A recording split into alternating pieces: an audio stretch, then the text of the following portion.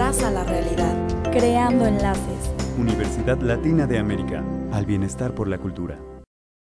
Es grave que solo el 16% de los municipios y estados del país tengan una armonización contable en la víspera de la entrega en vigor de la nueva ley de contabilidad gubernamental, dimensionó Guillermo Guizar, coordinador nacional de Contralores Estado Federación.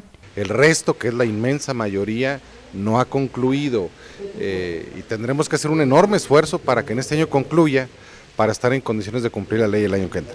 En Morelia, en el marco de la Comisión Permanente de Contralores Municipios Estado, Guillermo Guizar lamentó el endeudamiento que arrastran municipios porque no existía una ley que regulara ese rubro. Creo que también el tema del endeudamiento de municipios y entidades federativas es un grave problema que está asumiendo el país.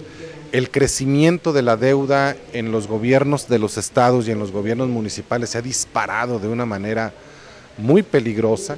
El funcionario lamentó que la falta de normatividad originó que los funcionarios que cometieron faltas administrativas no hayan sido sancionados. Lo que me, me, preocupa, lo que nos preocupa es que muchos funcionarios que cometen irregularidades se salen por la tangente. Los jueces son muy estrictos, es muy difícil comprobar porque pues imagínense en un río revuelto ganancia de pescadores.